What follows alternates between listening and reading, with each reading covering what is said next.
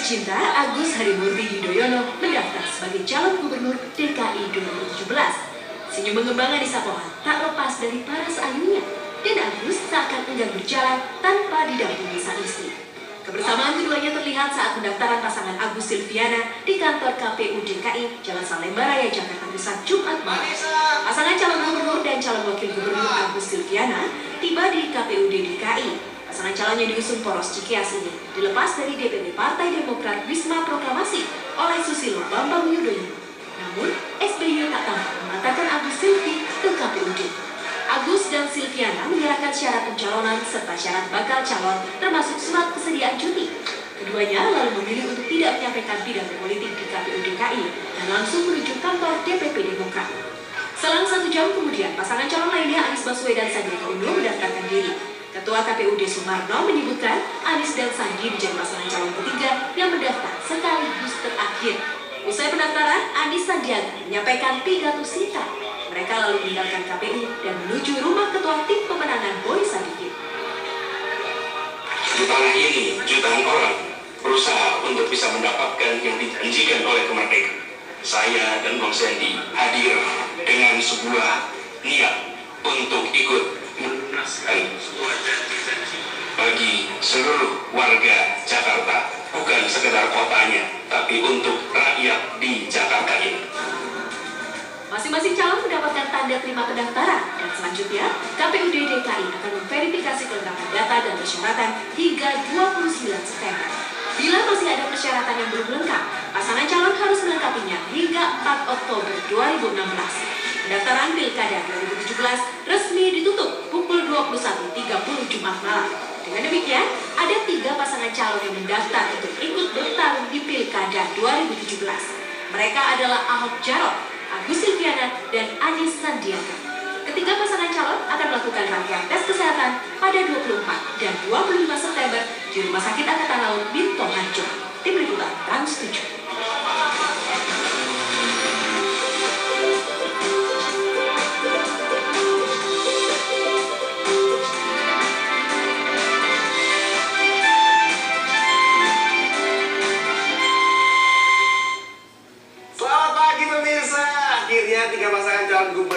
Calon untuk maju dalam pertarungan Pilkada DKI 2017 mendatang. Tapi kalau saya lihat di tayangan video yang tadi itu pemirsa ada sosok yang menurut saya itu familiar banget. Selamat pagi, Anissa Familiar lah, setiap minggu kita bareng ya. Iya, makanya tiba-tiba lihat tadi malam Pohan, Anissa Pohan, Anissa Pohan. Lihat kamera lagi. Gimana tuh perasaannya semalam? Iya, mixed feelings lah ya, campur-campur. Uh, haru, deg-degan. Kayaknya sampai jam berapa sih semalam? Memang jam setengah sepuluh sampai malam. Tapi hari-hari sebelum hari sebelumnya kan juga udah uh, sampai pagi. Pantesan kurang, ya. kayak kurang tidur Masa ya pagi hari ini. Masa dong ya, pemirsa selamat pagi. Nah, gitu dong.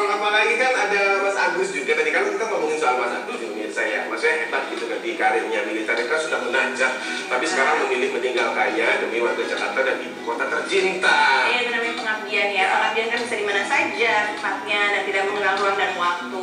Kemarin juga Mas Agus saat menyampaikan pidato juga sempat terharu uh, karena khususnya mengucapkan selamat perpisahan kepada institusi TNI. Berikut pidato dari Agus Harimurti Yudhoyono rasa cinta dan bangga saya terhadap institusi TNI yang telah melahirkan dan juga menempa saya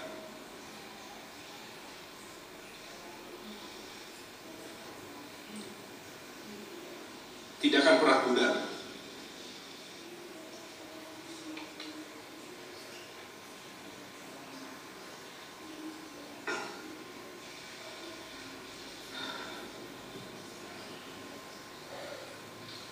Dan pada kesempatan yang baik ini pula, uh, izinkan saya untuk mengucapkan rasa terima kasih,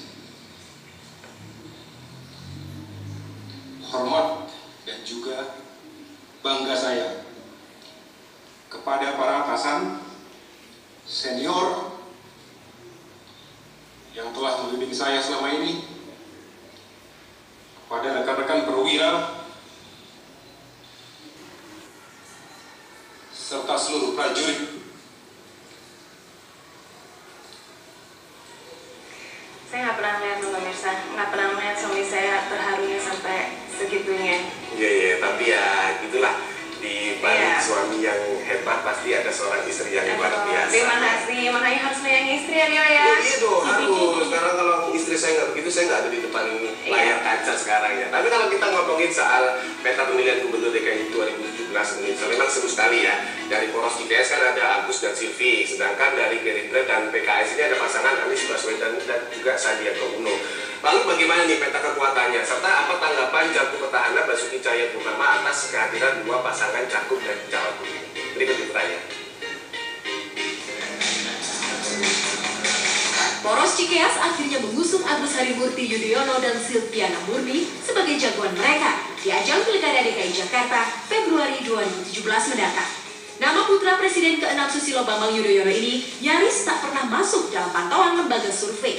Agus memang belum pernah terjun ke dunia politik. Agus Harimurti diusulkan Wakil Ketua Umum Partai Demokrat Syarif Hasan di luar rapat formal di Cikeas Kamis malam tanpa diduga. Meski sempat tidak disetujui oleh SBY dan Ani Yudhoyono, Agus yang berdinas di TNI Angkatan Darat ini justru didukung oleh tiga partai lainnya setelah nama-nama calon yang lain kerap mendapat penolakan dalam rapat.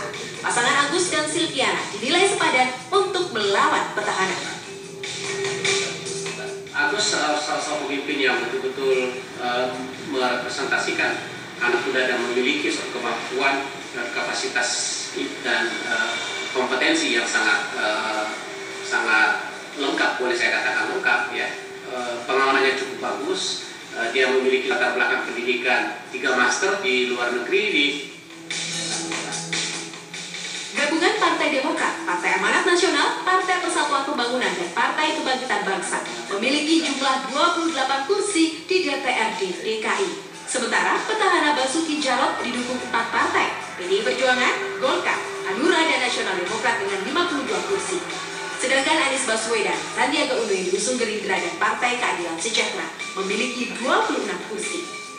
Basuki Cahayapurnama atau Ahok sebagai calon gubernur petahana DKI Jakarta menanggapi positif masuknya dua pasangan calon gubernur dan calon wakil gubernur dalam pertarungan pilkada DKI 2017. Oke lah, makin banyak prinsip kita kan makin banyak yang ikut warga DKI makin banyak pu- punya pilihan itu yang benar. Aku dari dulu nggak begitu bikin peluang, yang kerja aja. Ini kayak kontrak kerja, orang Jakarta. Pilkada dua putaran pun bukan menjadi hal yang tidak mungkin terjadi dalam Pilkada 2017 mendatang. Calon Gubernur DKI Jakarta petahana Basuki Cahayapurnama hanya bisa berharap gugatan cuti kampanye yang diajukan ke Mahkamah Konstitusi dapat dikabulkan. Tim Liputan Trans 7. Ya kita ke informasi yang lain pemirsa berita mengenai banjir bandang yang menimpa saudara-saudara kita yang di Garut kemarin hari Senin ya. Sedih banget ya, Sedih banget ya. pemirsa. Apalagi sampai sekarang ini korban meninggal dunia yang sudah dievakuasi ini mencapai 30 orang. Bahkan salah satunya ditemukan 50 km dari kediamannya. Ini menandakan bahwa air bah yang menandakan, eh, melanda kampung mereka itu sangat dahsyat. Dahsyat banget, berarti memang besar banget ya banjir bandangnya ini. Dan juga ada korban yang menemukan jasad ibunya ini langsung histeris dan juga pingsan. Aduh, nggak bayang. Langsung lihat ya beritanya, dia.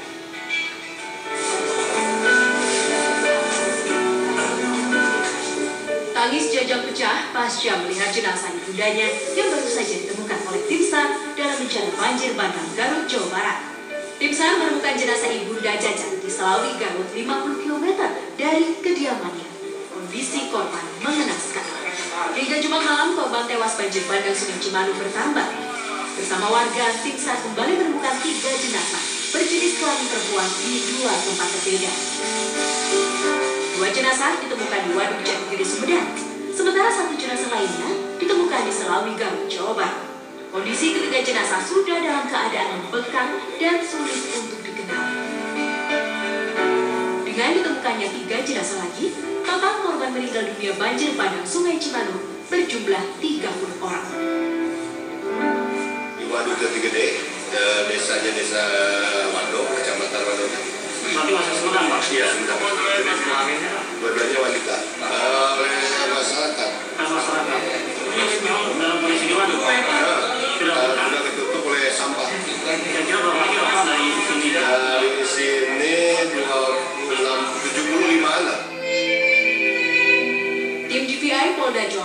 Langsung melakukan identifikasi terhadap jenazah ketiganya secara bergilir.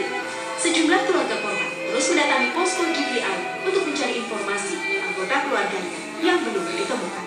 Deden Rahadian, Garut, Jawa Barat. Peristiwa banjir bandang Sungai Cimanuk Garut Jawa Barat ini tak hanya mengontakkan ratusan rumah saja Rio, Ya. tapi juga fasilitas rumah sakit daerah. Ada sebuah video amatir menunjukkan betapa dahsyatnya air bah yang masuk ke dalam rumah sakit sehingga membuat para pasien di dalamnya juga menjadi panik. Aduh, kebayang nggak sih maksudnya pasien-pasien itu paniknya seperti apa? Kita aja kalau di rumah ada banjir cuma berapa senti aja udah paniknya Iya. seperti apa? Apalagi nggak surut-surut. Aduh, gimana pasien-pasiennya tadi ya? Iya betul, ya mereka tidak hanya panik karena berpotensi juga menghantam tubuhnya. Ada beberapa juga yang harus meme- memegangi sepeda motor karena bisanya hanyut dan mengenai tubuh mereka. Sedih banget ini. Coba kita lihat seperti apa sih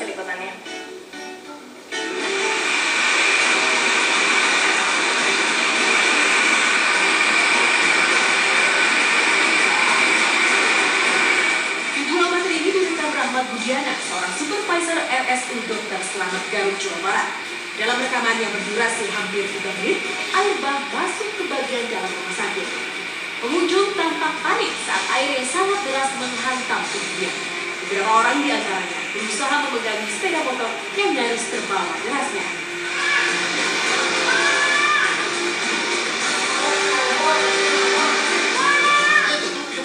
Serupa terjadi di dalam ruang IGD RSU Dr. Selamat Garut. Sejumlah pasien yang tengah mendapat perawatan langsung dievakuasi menuju lantai atas dengan cara digendong. Air masuk setelah mendobrak pagar serta menyeret sejumlah pembatas milik rumah sakit. Musibah banjir bandang menyisakan duka mendalam bagi warga. Neneng salah satunya, warga Jayawaras Garut Jawa Barat ini kehilangan dua anggota keluarganya sekaligus akibat banjir bandang. Anaknya Ferry serta keponakannya Yuningsih tewas terseret banjir bandang selasa malam. Jasadnya baru ditemukan Rabu siang sekitar 10 km dari lokasi kejadian. Beruntung, Neneng bersama suaminya lolos dari maut setelah berhasil naik ke atap rumah. Sebelum banjir, hujan deras sempat terjadi. Meski durasinya tidak lama, tiba-tiba air masuk ke dalam rumah dan langsung menyapu seisi rumah. Beruntung korban masih terjaga saat kejadian banjir bandang terjadi. Yang tidur langsung bangun Jam berapa itu musimnya tidur? jam 10 Tiba-tiba air langsung di Ah, membuat langsung besar. Iya hujan sebentar, hujannya sih nggak lama, sebentar hujan langsung banjir, dia langsung lop-lop itu air besar. Selain menelan 30 korban jiwa, sejumlah fasilitas umum juga sempat lumpuh akibat banjir.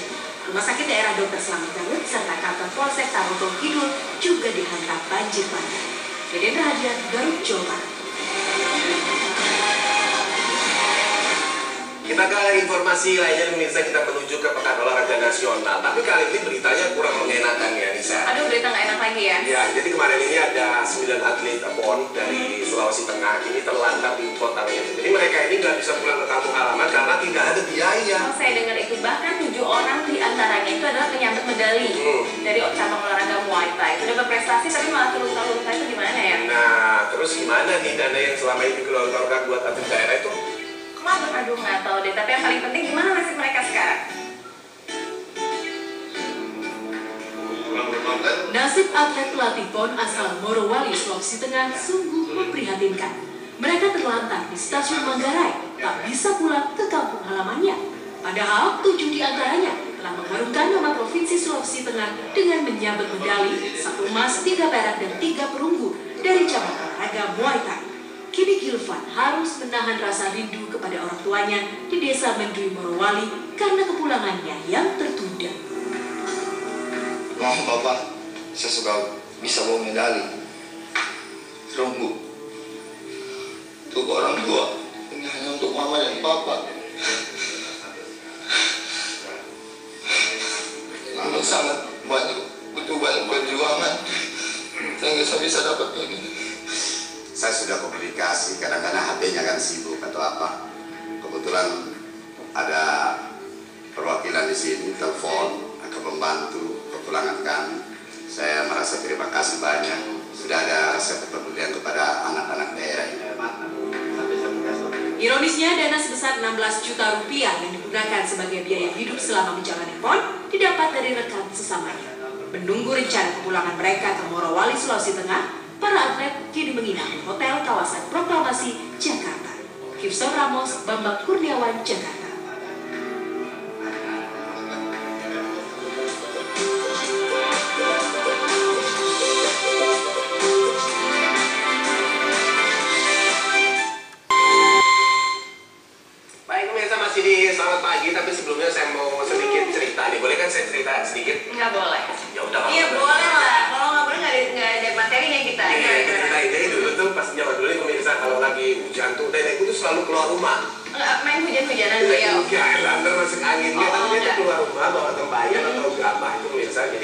Buat ini nampung air hujan. Soalnya kan dulu itu air bersih kan jarang. Jadi mesti ditampung, disimpan untuk keperluan sehari-hari. Oh gitu. Oh dia tempayan ya ini Iya. terus sama yang di Kalimantan Selatan. Hmm. Mereka juga melakukan hal yang serupa dengan tempayan dengan ada air hujan. Masih ada yang ngelakuin masih apa nampung air hujan. Terus yang bikin masih ada juga. Masih ada dong. Ini justru mereka membuatnya masih secara tradisional, masih buatan tangan dan sekarang ini Oki sedang melihat cara pembuatannya di sana.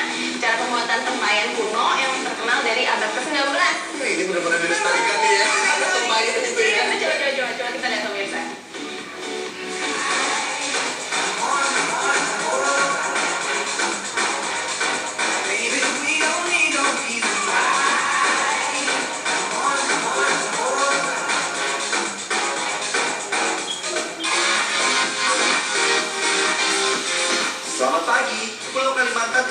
sebagai pulau dengan sungai-sungai yang panjang membentang.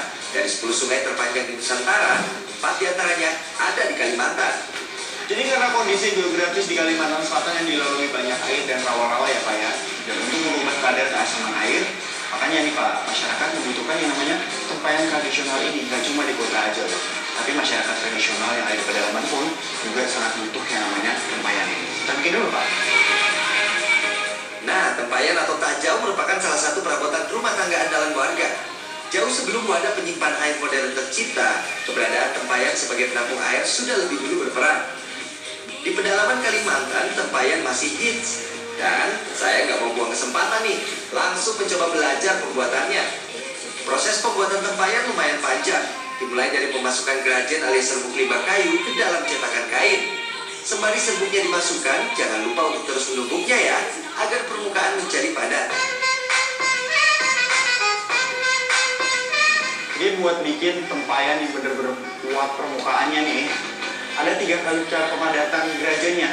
Pertama pakai kaki, kedua pakai alu yang panjang, yang terakhir pakai alu yang pendek kayak gini. Cetakan sudah padat, tapi bukan berarti proses rampung. Masih ada pengecoran tahap kedua.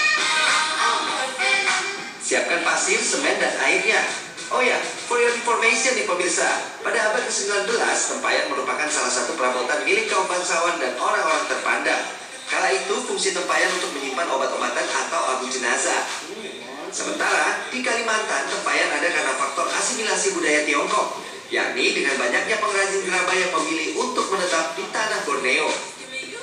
Jadi tempayan ini sama dengan tajau khas Dayak. Kalau tajau pembuatannya dicampur sama emas sama intan dan fungsinya buat upacara adat. Nah kalau tempayan ini cuma pakai semen aja karena buat nyimpen air.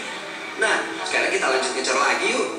Bagian bawah permukaan tempayan dibuat dari adonan berbentuk melingkar. Kemudian kita letakkan cetakan berisi grajen ke atas lingkaran. Sip, selanjutnya cor lagi atas, tengah, dan bawahnya. Jika cetakan sudah tertutup adonan semen, haluskan adonan dengan menggunakan skop. Agar halusnya rata, putar seluruh bagian tempayan. Kalau sudah mulus, taburi dengan semen agar permukaannya semakin halus. Saking halusnya, bisa-bisa lalat yang hinggap terpeleset nih. Ini bedanya tempayan sama tembikar. Kalau tembikar dikeringinnya dua kali melalui proses pembakaran barulah dijemur di bawah sinar matahari. Tempayan cukup diangin-anginkan saja sampai kering.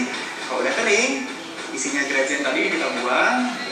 Udah jadi deh tempayan. Nah, siap jual nih pak. Salah satu alasan kenapa tempayan masih eksis adalah karena harganya jauh lebih miring ketimbang tabung penyimpan air modern.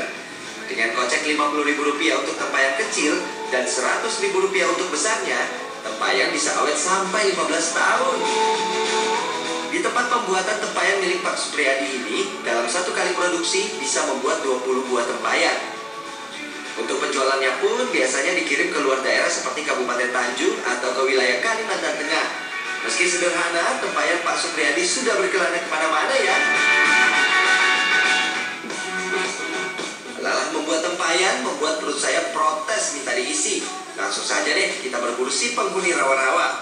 Namanya ikan papuyu. Tapi ikan papuyu ini kita dapatkan dari hasil budidaya dengan menggunakan teknik bioflok. Teknik yang baru saja dikenalkan oleh Dinas Perikanan dan Pertanian setempat ini cukup menjanjikan bagi para petani ikan papuyu di Banjarmasin. Teknik penangkaran ikan berbasis pemanfaatan limbah cair, bibit ikan papuyu sangat cocok dengan proses makroagregat atau sistem lumpur aktif. Jadi yang keruh ini karena sudah bercampur dengan lumpur. Hah, ini nih ikan papuyu atau ikan betok kalau masyarakat sini bilang. Masa pembesaran atau pendederannya pun cuma lima bulan nanti baru bisa dipanen pak. Nah yang di sini usianya baru satu bulan. Masukin lagi aja biar makin gede, makin enak nanti makannya. Wah, perlu gula makin keroncongan nih. Yuk segera kita olah ikannya. Ada asam dan gula jawa, beras serta garam yang akan membuat kesegaran ikan papuyu tambah cetar.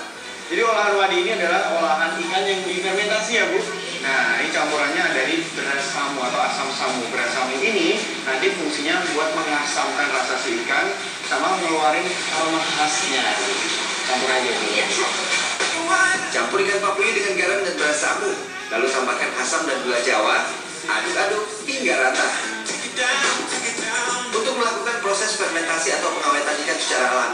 Yang sudah dibumbui tadi kita masukkan ke dalam toples kaca dan disusun secara teratur. Eits, agar bumbunya meresap sempurna, air bumbu tadi juga dimasukkan ke dalam toples berisikan ini. Pastikan semua bagian ikannya terendam bumbu ya. Bu, berarti ini kurang lebih ditunggu sebulan bu. Iya. Nah ini tadi kita tunggu yang olah kita tunggu sebulan lagi biar aromanya itu keluar dan ikannya lebih lebih tahan lama. Nah daripada nunggu sebulan kelamaan, saya punya versi yang sudah jadi. Tidak cuma satu loh, saya punya tiga. Ini versi asin dan satu lagi versi dimasak samu. Nah ini tinggal diolah lagi ya, tidak semakin mantap. Wadi papuyu pas diolah menjadi asam manis. Yum. Perpaduan rasa manis, asam, dan asin makin klop deh pokoknya. Kita tumis dulu bumbu bawang dan cabai segar yang sudah disiapkan ya. Selanjutnya masukkan tomat segar dan jangan lupa wadi papuyu yang sudah digoreng kita campur ke dalam wajan ini. Tak perlu menunggu lama, olahan wadi papuyu asam manis ala Banjar pun siap untuk disantap. Hei, jangan salah loh. Meskipun ikan papuyu ini ukurannya tidak besar dari ikan gurame, namun kandungan protein yang ada di dalamnya mampu menyuplai kebutuhan protein harian kita. Apalagi buat yang aktif seperti saya nih, sangat cocok untuk kesehatan otot. Oke Arianto, Aini Fadila, Banjarmasin, Kalimantan Selatan. Tumben Rio pagi-pagi kok kayak mau makan apa ya gitu ya? Nih, sengaja aku makan pepaya pagi-pagi itu kan biasa melancarkan pencernaan yang biasa membersihkan usus ini dari kotoran atau racun-racun bagus Benar nih, nah tapi selain pepaya matang seperti ini pemirsa, pepaya hijau yang masih jarang bijinya itu, itu banyak manfaatnya. Tinggal direbus terus langsung dimakan. Manfaatnya banyak banget. Gak cuma itu aja, masih ada manfaat lagi Apa tuh? Jadi Pagi aja yang tahu nih pemirsa Apa sih? pepaya ini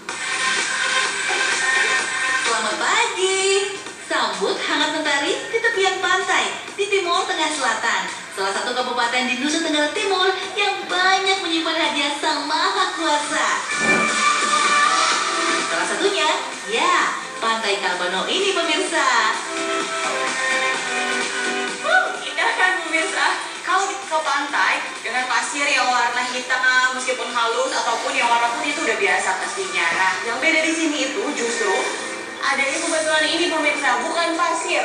Dan batu-batu ini berwarna-warni. Itu yang membedakan dibandingkan dengan pantai-pantai yang lain. Dari ujung sana sampai ujung sana, semuanya bebatuan.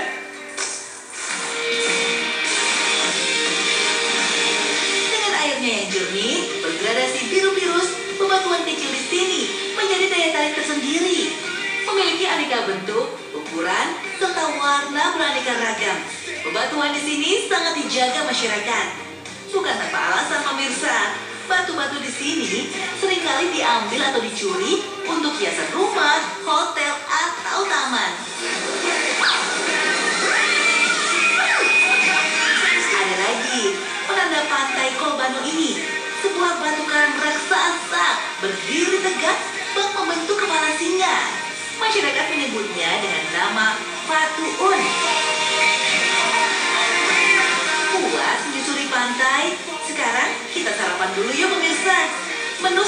sederhana yang tersedia kali ini adalah abon pepaya.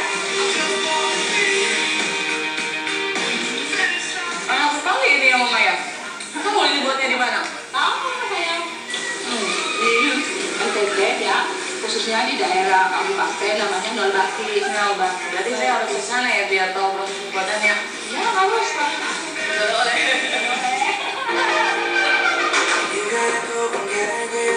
Unik ya, abon yang terbuat dari buah pepaya. Hmm, biar nggak sampai penasaran, langsung aja kita cari tahu seperti apa proses pembuatannya. Bergeser ke Noel Baki, Kupang Tengah. Saya bergabung bersama Mama Marta beserta kawan-kawannya untuk mengambil buah pepaya terlebih dahulu. Buah tropis ini tentu tidak asing bagi masyarakat Indonesia. Banyak yang mengkonsumsi buah pepaya ini sebagai pelengkap rujak atau sekedar dikonsumsi sebagai pencuci mulut. Tak hanya dinikmati setelah matang, buah pepaya juga dikonsumsi ketika masih setengah matang. Biasanya dijadikan lalapan, dimasak menjadi sayur, ataupun olahan lainnya. Yang mana yang bisa petik? Ini, ini. Ini? Jadi pepaya yang diambil itu adalah pepaya yang masih muda, warnanya masih hijau. Soalnya teksturnya masih keras. Kalau yang sudah matang, sudah tua itu teksturnya lebih halus ya, nanti susah untuk diolah. Yang masih hijau, masih muda. Kalau sudah agak kuning itu sudah tua ya, tidak bisa diambil. Bernama latin Carica papaya. Buah ini merupakan jenis tanaman yang diklasifikasikan berupa herba, berasal dari kawasan Amerika Tengah dan Hindia Barat. Pepaya kaya akan vitamin A dan C yang baik untuk kesehatan kulit serta menjaga kesehatan mata. Antioksidan yang ada di dalamnya mampu menangkal radikal bebas yang buruk terhadap tubuh kita. Bahkan, kandungan enzim antiinflamasi yang ada di dalam pepaya bisa mencegah terjadinya kanker. Uh, keren kan? Ini memang harus digoreng dulu. Soalnya ketannya banyak, katanya ini harus dibuang. Biar nanti diproses, itu gampang ya, tidak susah dan kan level. Getah pepaya mengandung enzim papain yang baik untuk kesehatan sistem pencernaan. Tapi karena akan diolah menjadi abon, maka getah ini harus disingkirkan. Tujuannya untuk mengurangi rasa pahit pada abonnya nanti. Jika kadar getah sudah berkurang, bagi pepaya ke dalam beberapa bagian. Atau bisa juga langsung diparut hingga berukuran kecil dan tipis. Selanjutnya, remas pepaya dengan garam untuk menetralisir rasa pahitnya. Kemudian, bersihkan hingga dua kali atau hingga sisa garam benar-benar terbuang. Campur parutan pepaya dengan bumbu seperti bawang putih, bawang merah, lada, lengkuas, dan serai. Aduk hingga merata. Tunggu hingga bumbu meresap. Kemudian campur dengan tepung beras dan tepung tapioka. Oke. Wah, kalau sudah seperti ini, sudah tidak seperti pepaya ya, Mama ya? Karena kadar airnya itu masih tersisa sedikit, jadi dicampur dengan tepung masih menyerap ya. Lama-lama seperti mie. Duh. Sip, parutan pepaya siap untuk digoreng.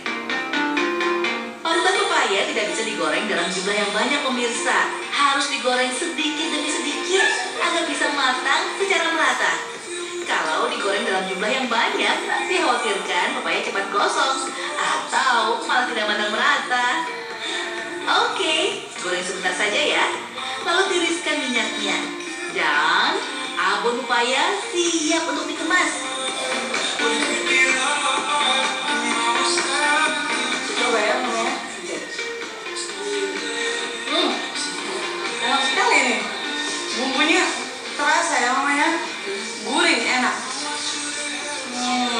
Hampir mirip seperti bawang goreng, tapi tidak ada aroma bawangnya kalau di sini. Pememarta mengolah abon pepaya ini bersama anggota kelompok damai. Ia mengolah dan memasarkan abon pepaya hingga ke berbagai daerah di Kupang. Konsumen biasa menjadikannya sebagai oleh-oleh. Namun sayangnya, karena keterbatasan tenaga, abon pepaya ini belum bisa tersebar keluar NTT. Padahal, satu bungkus abon pepaya ini dijual dengan harga cukup terjangkau. Hanya Rp15.000 saja. Budi Nurul, Hendra Kaswara, Kupang, Nusa Tenggara Timur.